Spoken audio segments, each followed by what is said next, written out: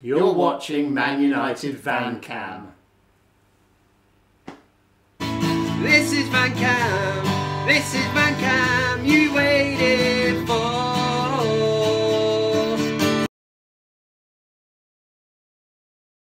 I'm not jealous, Steve. I'm just trying to look out for you, mate.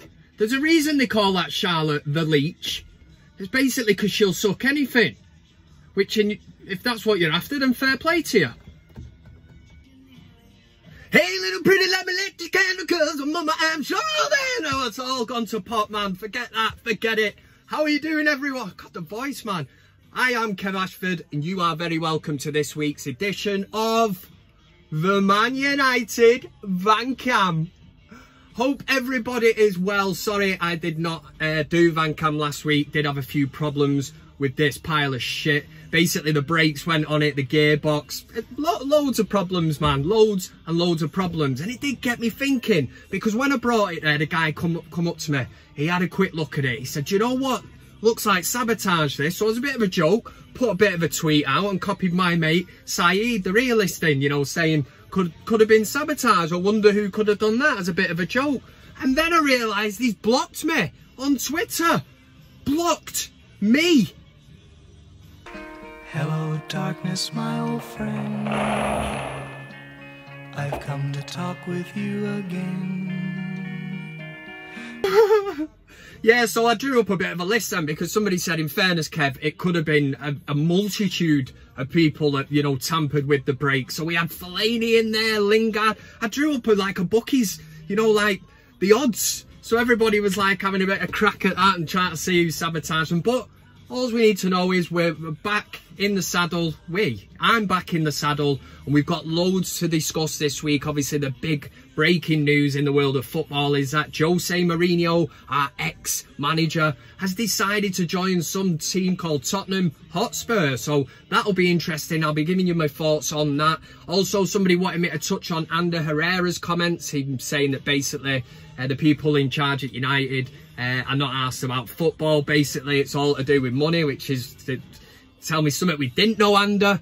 Uh, we'll do Cockstroker of the Week. We'll find out who has been a really bad bell end and we will end with oh we'll do a big van cam debate as well not gonna have time for your comments this week uh, but it will be back next week so make sure you youtubers usually say drop a comment in. They always point that means under there you know drop one in anyway. But i hope everybody as well i hope you're you know happy to see me back and that.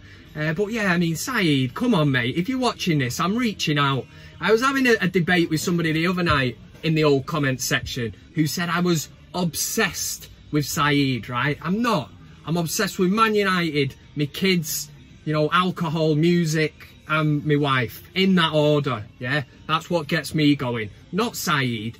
And I've always said it's never been anything personal. So if you're watching this, mate, I've never slagged you off, never appearance-wise, anything like that. It's always been discussing football, and in particular, the comments and the point of view that you threw out after the Newcastle match.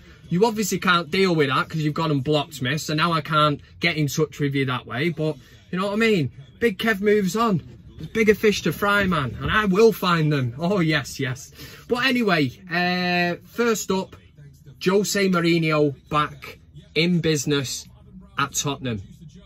I really just do not understand Daniel Levy's thinking on this one. And us as Man United fans, or if you're a Chelsea fan and you know what Mourinho is like and the way that it ends when he leaves your club, you are in a good position to now be telling Tottenham fans what to expect because it will happen at Tottenham again. And yes, they might win a Carabao Cup, possibly even an FA Cup, who knows. But for Mourinho to come out, he's saying all the right things. He did it. He's done it everywhere he's gone. He's a very confident guy. And the two big words that you will have heard repeatedly this week is box office. And that's because the media absolutely love him. Now, personally, I think it's brilliant for the Premier League. Loved seeing Mourinho even take over at United. But it quickly become apparent that Mourinho was sort of stuck in the dark ages. And by that, I mean tactically, the way that he dealt with players. At first, I thought, this is good. He's giving Luke Shaw a good kick up the arse, Martial, but that spreads throughout a club. Now, it might have worked in previous jobs and previous down the line when he won trophies and he was a serial winner. But at United, and now you've got other managers like Klopp, Guardiola, who are better managers than Mourinho. They've moved on tactically, and moved on with the game. The game always evolves, and if you stand, you know, stand still, you will get left behind. That's what happened with Mourinho. A, a, a leopard never changes its spots. So he's going to rock up now at Tottenham. Daniel Levy has hired Mourinho, who is a serial spender. He needs big money to build squads, and Daniel Levy does not give out money. As Pochettino, Pochettino, po Pochettino, that's it. I don't know why I'm struggling with that. And that's what Pochettino found out, because Daniel Levy would not spend big money and did not let Pochettino develop and bring his squad on each season. It was absolutely incredible what that man did with that squad of players. There's certain players that he bought were absolutely brilliant for him, Dele Alli and that. And the big thing here is Pochettino developed youth, brought them through, and ultimately, ultimately, the squad that he had and the players, he made them better players. Does Mourinho do that? Did he do it at United? You know, I don't want to shoot him down. I'm glad he's back in the Premier League. And me, for one, if he comes back to Old Trafford, I would clap him. Mourinho still remains Man United's most successful manager since Sir Alex Ferguson left. Some will say he's the best of a bad bunch, which is probably right. But yeah, for what he did at Man United, ultimately what it come down to and boiled down to, it didn't even matter really if we were winning games. It is the style of football and the direction that the club's going in. And there was games, you were coming away from Old Trafford, yeah, we might have won 1-0, 2-0, but the brand of football, the direction things were going in wasn't great. And ultimately, that's what cost Mourinho his job at Old Trafford. I'm happy with Ole Gunnar Solskjaer. Some people are saying get Poch now. We'll do that in the big Van Cam debate in a bit. I think I've talked enough shite for the start of the show. If you're in the live comments, then evening to you. I'll be sat with a glass of red uh, and a beer because that's how I roll. I'll be watching along with you. So make sure you get into the comment section. Uh, and if you like what you see, do do that because it helps me out. Yeah, nice one. Right, let's get this show kicked off. There's loads of bell ends about. Loads of them. Just head into the street and you'll see them. Everywhere.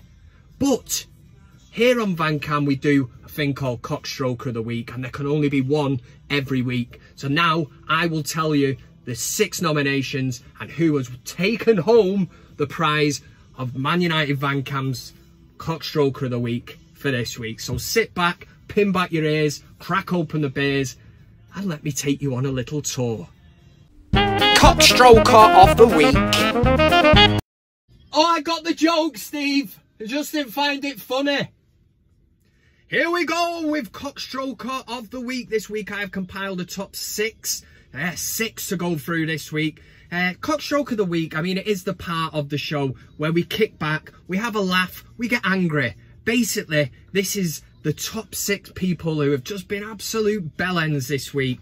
Uh, I put them in to a top six. I'm just repeating myself, man. So without further ado, let's get through the nominations and the winner for this week. Coming in at number six this week is the Bolton mascot. Now, a goal was scored by Bolton, and I still can't work out whether it's the guy that scored the goal that didn't get the memo or the mascot. But we'll just give it the mascot anyway, because the goal is scored. And as the player runs over to celebrate, you will clearly see that the mascot is lay on the floor. It's, I suppose it's kind of Paul Gascoigne style, innit? I don't know whether he was laid back thinking, you know, pretend to squirt some water in my mouth or whatever. But anyway, it didn't work. I still, do you know what? I don't even know whether the mascot, there was somebody in the mascot. They might have just left it on the side of the pitch, which in that case, it's the mascot's fault, you know, put it out of sight, man. You're going to scare kids and stuff like that. For that reason, he's number six. Could be a she, actually. You know, we're diverse here on the old van cam.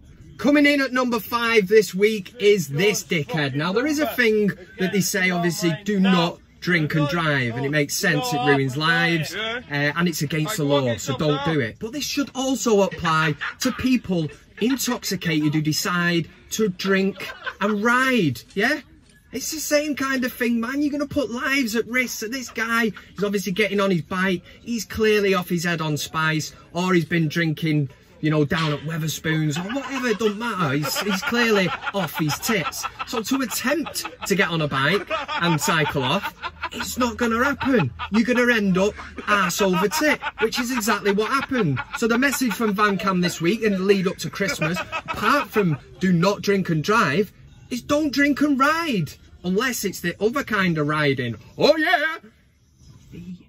Number four this week is them three letters V-A-R. Yeah, it's V-A-R. It really is starting to destroy football. And I know we've done a debate on this before on Van Cam. The majority went with give it time. I did this at the start of the season, but I could see these teething problems. A lot of us agreed and said, right, do you know what? We just need to give it time, let it evolve, let it do its thing. It's just causing more and more problems. And I tell you one thing as well. What I'm finding myself doing now is when United score, which ain't very often, but when they do, know, you, you don't actually jump up straight away. And it, you're waiting for the goal to be ruled out. You find yourself celebrating about three or four minutes after then. Same thing when a goal goes in against United. Might nothing be wrong with it, but I find myself shouting, VAR!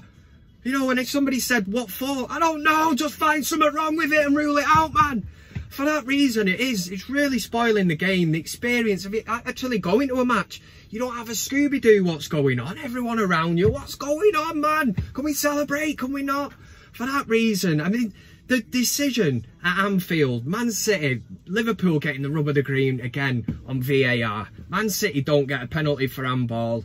Uh, and the biggest one was the Sheffield United one against Tottenham. I mean, how they're picking up these offsides. I mean, at least give the attacker the advantage on that. I mean, we are talking the hair on the end of his finger was offside or a toenail. These are the, this is what they're picking up on now, man.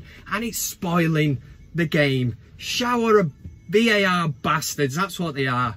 Number three goes to the Liverpool fans who think it's an absolute great day out to get to the game early, two hours, three hours before kickoff, and abuse the Man City players that are, you know, coming in on the coach. I mean, what is all that about? Let's make Anfield a fortress. I tell you what, you shower of scouts dickheads. Here's one for you. You've got two or three hours to kill before a game. Go to a pub, have the crap with your mates, have a few drinks. Even if you don't drink, you know, go and talk about football.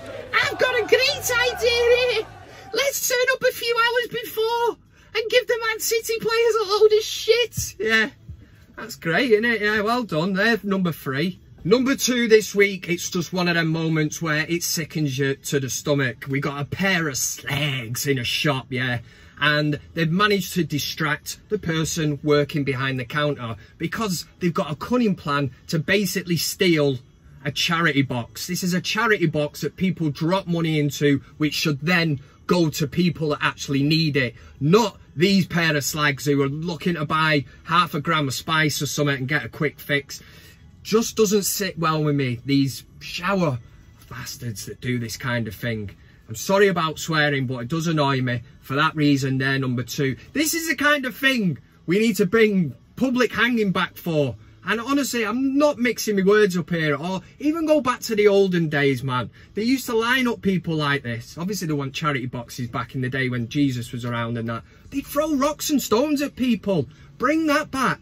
All the people that should got that money should be able to line up with them two against the wall and throw stones at them. Even let them kick them in the fanny or something for Christ's sake.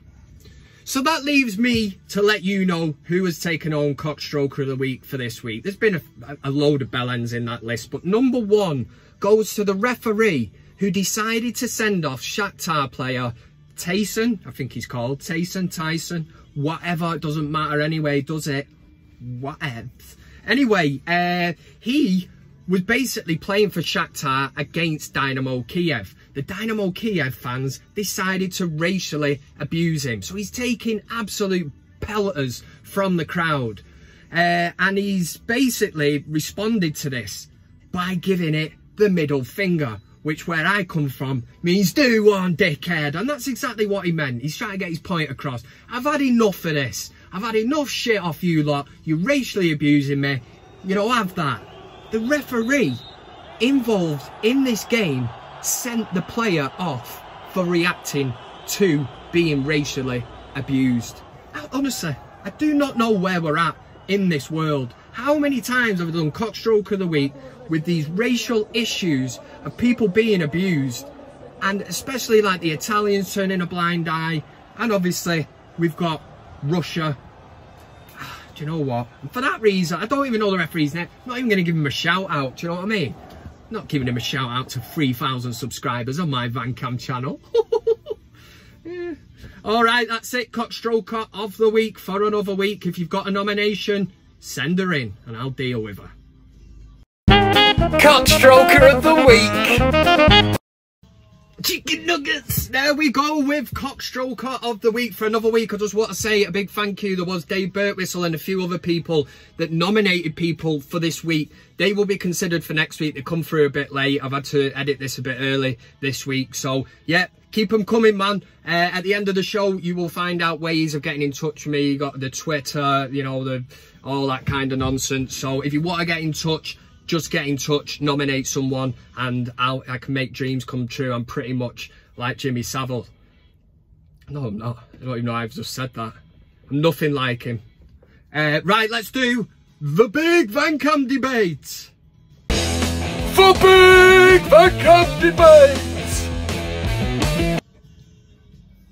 Okie dokie, so before we just get into the big Van Cam debate very quickly, I just want to say a big thank you again to the lovely people at Urban Vandal Clothing who sent through this Eric Cantona's t-shirt. It's absolutely mint. I have mentioned it before, but the reason that I'm telling you again is because they've updated the website. If you go into the description, there is a link. You can get in the store. And if you want to look like Kev, well, from the head down anyway, do you know what I mean? You can be like me, a proper gangster, just going round the streets and looking proper sick, as the kids say, or whatever it is. But anyway, less of that. Last week's Big Van Cam debate and the poll, the question that I set you, fuck's that?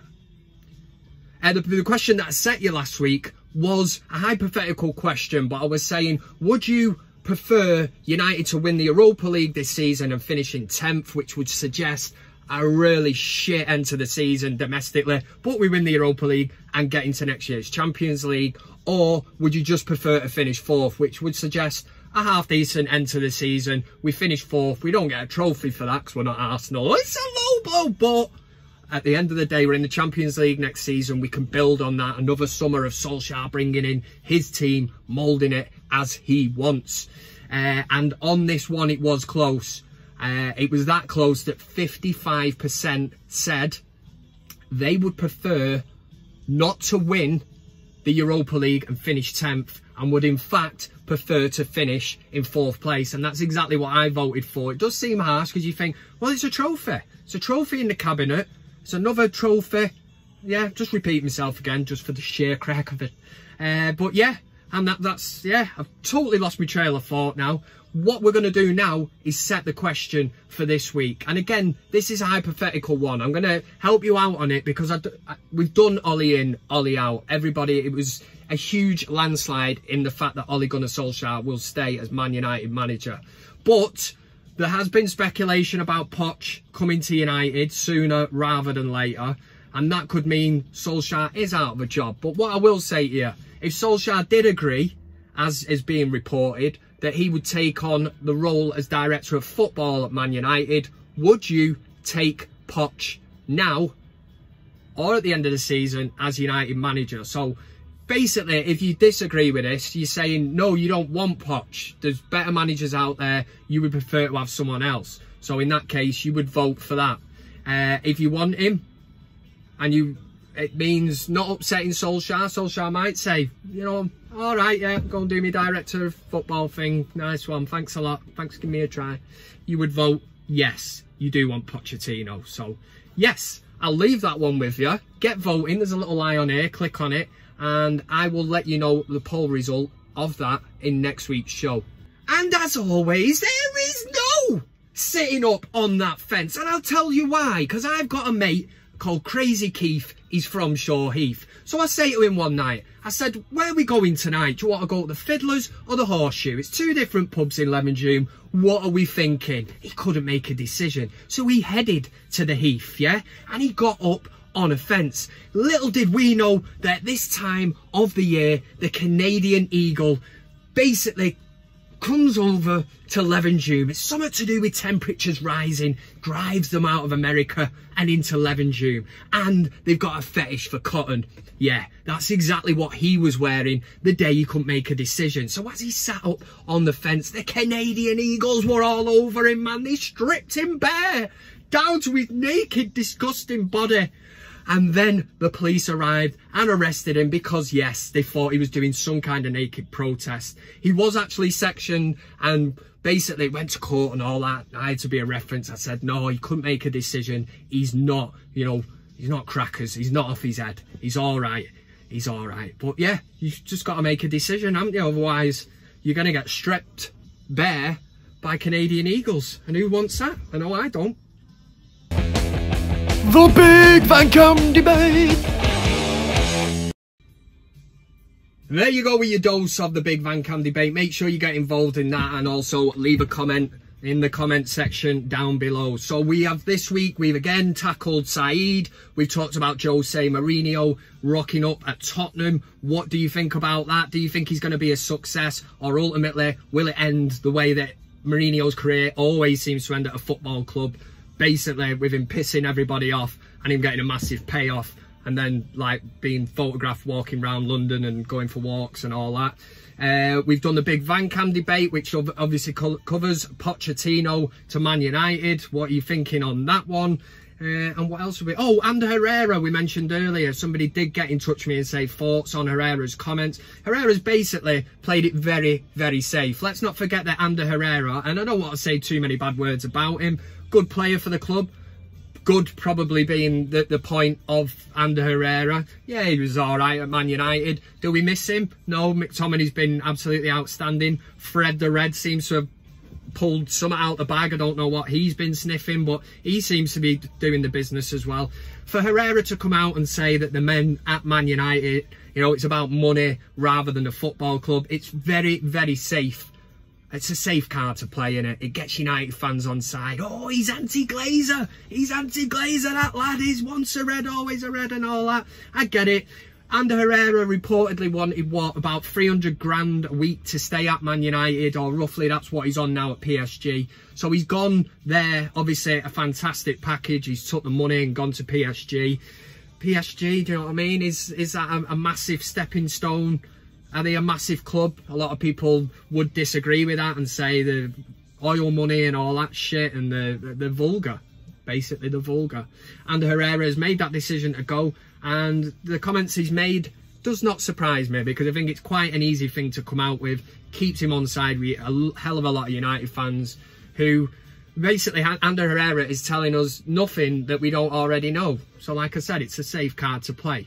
Next week, your comments will be back. Also, the Super Chat Appreciation Society will be back. I'm having a few problems with the iPad at the minute. So if I can if I can raise £500 on tonight's video, I will be getting a new iPad. I won't, I'm joking. It's only a small technical hitch, but I will get it sorted. I will be thanking everyone for the last video that I did because I've got loads of people to thank and all that. And obviously I'll do it with the Irish music in the background. Why not? Uh, one late contender for cockstroker of the week was my wife, right? She was at her Christmas do this week, right? It's quite a big company that she works for and all that shit. But last year, they had Peter Andre on. Yeah, that's how big the company is, you know what I mean? Mysterious girl. I'm a bit gutted I didn't get the invite. Would have liked to have gone and seen a bit of Peter Andre, but yeah, probably saying a bit too much here. But anyway, last year it was Peter Andre. This year, boss promised her that it was an A-list celebrity. So she's thinking, hi man. She was even getting that excited because she tied it in that Liam Gallagher was playing in Manchester that weekend. I was like, don't get your hopes up too much. There was mentions of the Killers, Coldplay. You know what road I'm going down. I said, you're just setting yourself up here, love. A-list celebrities. The, the Killers aren't playing, man. Neither are Coldplay and Liam Gallagher. I'm trying to, like, keep her grounded.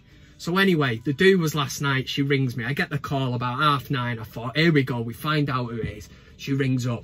You'll never believe who it is. So I'm thinking, shit, it's going to be someone half decent here. I said, hit me with it. She said, you'll never believe who it It's Will Young. I was laughing my head off, man. I said, I think you better leave right now.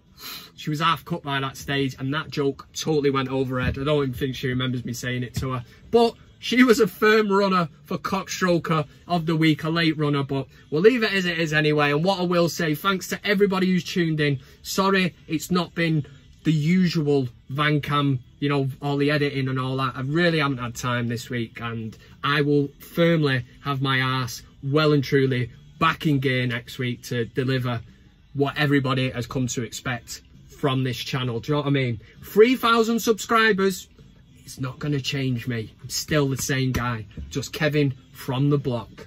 United play Sheffield United. Yeah, I was going to say Sheffield Wednesday then. That would have pissed them off. Sheffield United, half four on Sunday. Looking forward to it, Of course I am. Will we win? Of course we will. United are back. Sort of, anyway. If anything, we're probably due there to go now. Now that we're like, we've turned the corner.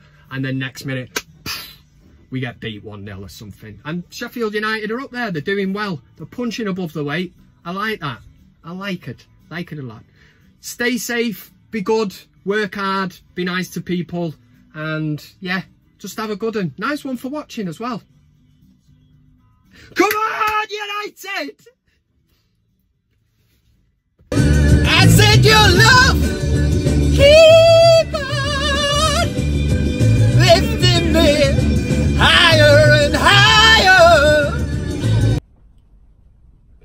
Thanks very much for watching the video. You can also follow me on these other social media platforms. That's Twitter, Instagram, Facebook, and of course, plenty of fish. Oh yeah!